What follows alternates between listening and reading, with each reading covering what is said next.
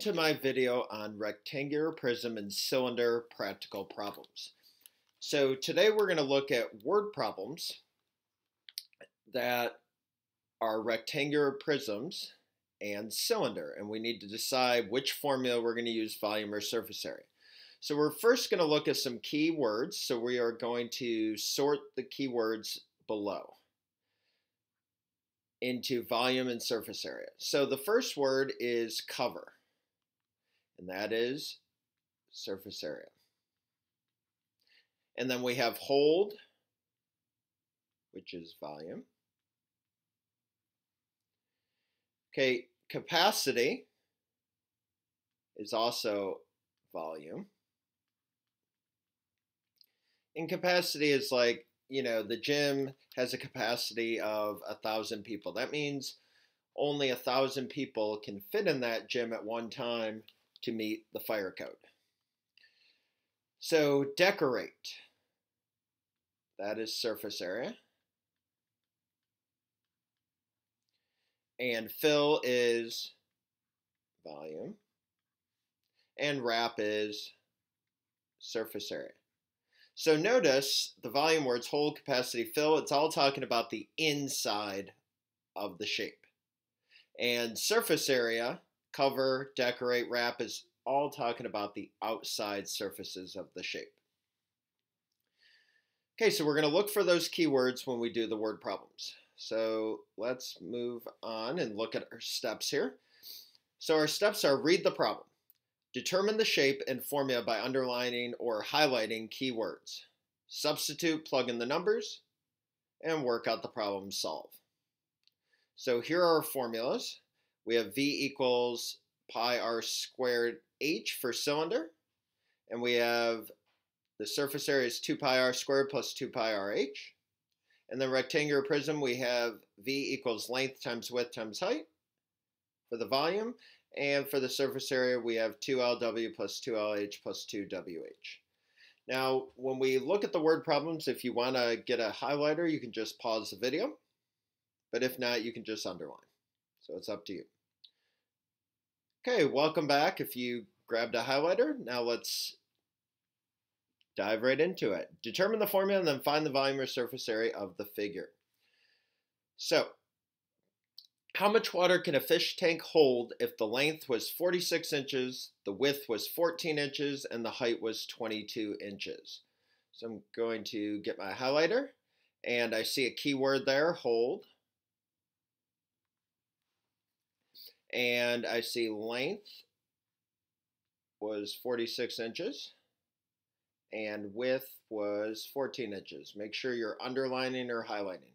And the height was 22 inches. Now, I can figure out the shape one of two ways, um, usually. Um, sometimes you can tell by what it is, fish tank, but I mean, fish tanks could sometimes be in the shape of a cylinder, so I can't really tell definitely there. But because I have a length, a width, and a height, I can tell that this is a rectangular prism. And I can also tell that it's volume because of the word hold. So I'm going to write down what I have. Length is 46, width is 14, and height is 22. Okay, and we said we're going to use the volume formula, so if I wasn't sure, I'd flip over to the other page. But I'm pretty sure volume is length times width times height. And the length is 46, the width is 14, and the height is 22. So I'm going to multiply those three numbers together. And when I multiply those three numbers together, I get 14,168 inches cubed. And I'm going to circle my answer. And I'm done. Okay, let's move on to the second one. John wants to paint a barrel in his riding arena with spray paint. Each barrel measures three and a half feet tall and has a radius of one and a quarter feet. How much spray paint will he need to cover the barrel? So I'm going to highlight barrel And right off the bat, barrel, I can tell it's a cylinder. Each barrel measures three and a half feet tall and has a radius of one and a quarter feet. How much spray paint will he need to cover? So I can underline spray paint there. Okay, so now I write down the information that I have. I know it's going to be um, surface area, so I can write the formula first. Surface area equals 2 pi r squared plus 2 pi rh. And when I look at the formula, I know I need a radius and a height, so I always like to write that down. So the radius is 1 and a quarter, which I know 1 quarter is 0.25, so 1.25. And the height is 3.5 feet, and I know that 1 half is 0.5, so it's 3.5. Now, I'm going to bring down the numbers and take out the symbols and letters. So SA equals, I'm going to bring down the 2. Pi is 3.14. And the radius is 1.25 squared. And I'm going to box it in. Now, when I type this in to my calculator, 2 times 3.14 times 1.25, hit the x squared button. I'm going to hit equals after I do that. And remember, if I don't have the x squared button, I'm going to type in 1.25 times 1.25 when I get to this part. Okay, plus, bring down the 2. Pi is 3.14. The radius is 1.25, and the height is 3.5. Okay, box it in. And I've already done the calculations. So this part is 9.8125 plus this part, which is 27.475. Okay, I'm going to add that up. 37.2875. And we're going to practice rounding to the nearest tenth. I know the directions didn't say to, but I want to practice because some of the worksheets and things that we'll do will ask you to round to the nearest tenth. So underline the tenths place, draw an arrow to the right, and if it's 5 or above, I give it a shove, so it's 37.3. Uh, feet squared because it's area. Now remember when you're rounding, if it if you're rounding to the nearest tenth, you can only round to the nearest tenth if there's a number in the hundreds place. If there isn't a number in the hundreds place, like right here, um, then I would just leave my number whatever it is. So sometimes your answer can be a whole number when it says round to the nearest tenth. Okay, now, um, if you want to practice typing these in after the notes are over, you can just come back and type this in and see if you get this number and type this in and see if you can get this number because it's very good practice to do that. Okay, moving on to number three. A rectangular board game is 14 inches wide, 18 inches long, 2 inches high. If I give the game to my niece for her birthday, how many square inches of wrapping paper will I need? So I automatically know it's a rectangular prism. And now I have my width, my length, and my height. And it says how many square inches. So right there, that tells me surface area. And wrapping paper also tells me surface area. So we're going to write the formula SA. And I would look at my formula sheet and find the rectangular prism one. So it's 2LW plus 2LH plus 2WH. And now I want to write down what I have. So I have a width of 14, 18 inches long, so that's the length, and 2 inches high, that's the height. Okay, now I'm going to bring down the 2's and take out the letters and put the numbers. So bring down the 2 times the length, which is 18, times the width, which is 14. Box it in. Plus 2 times the length, 18, times the height, which is 2 box it in.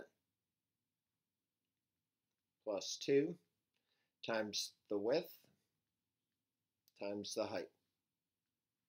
Box it in.